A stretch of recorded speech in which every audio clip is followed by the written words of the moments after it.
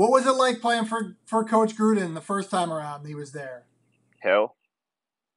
We didn't like each other. He he doesn't like young guys. That's another reason I say I don't think he's gonna. Uh, he's uh he he would uh, take a quarterback uh, early. Um, Coach Gruden seems to me as the the person who wants to see the resume, what you've done in the NFL. That's why he was. That's why uh, Jordy Nelson was able to come there and fit in. But um, I don't know, young receivers like I mean, actually, Amari Cooper had a resume too. But like rookies, young guys, he leans on them. It's nothing they've ever seen before. It's tough, and it gets you to a point where I, I felt like I wanted to fight Gruden once. So, yeah, he's just one of the, he's an abrasive guy, and uh, our our uh, personalities clashed, but.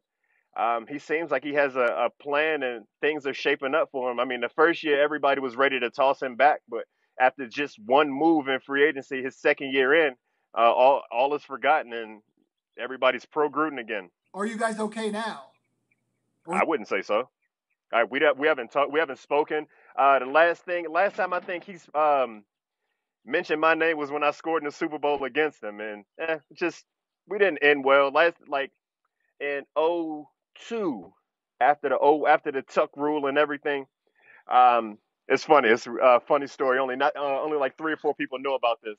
So Mark Meyer was um, was a trainer um, uh, with the Raiders.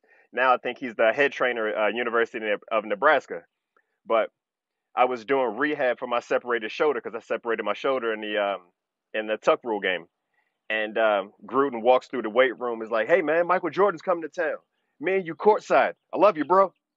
Walked off next day on the uh, on it through the through the media, newspapers, however you found out, he had taken uh, got essentially traded to Tampa, and that was the last thing he said to me. And then after that, the the the touchdown in the Super Bowl, he didn't speak to me, but you could hear like you know he was mic'd up for the game. He's like, "You got to be been kidding me." That uh, he didn't catch that ball in bounds. I don't think he liked me.